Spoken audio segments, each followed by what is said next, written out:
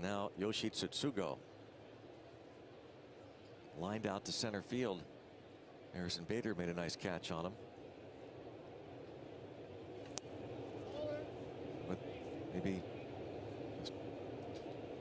be extra cautious, get him out of there. And feel good for Bob Nutting. Give him credit. Talk about committing and there's a base hit. Reynolds going to head to third. Yoshi Tsutsugo. And uh, at the zero put up on the board. And the third. Taking advantage of that. There's that nice camera shot they have here.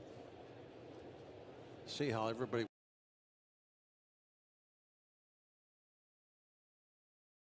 Tsutsugo will lead off as line to center and single to center. doesn't really matter who they bring in. It's you're glad that you lose the. Uh, you know, I don't think he's a slam dunk, but mean, it depends on what, what you're going to base it on. I mean, was he one of the great pitchers of, you know, while he pitched? Yeah. We might be a little biased because uh, he's a Cardinal. Of course, we've seen him so much.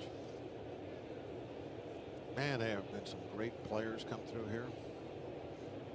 When you look at just his career numbers, as Yoshi Tsutsugo has a third solid at bat. Yeah. They'll uh, take that base hit down five nothing. He'll just slap the ball the other way. They're giving it to him. Wainwright with again six shutout innings. And now to record six strikeouts.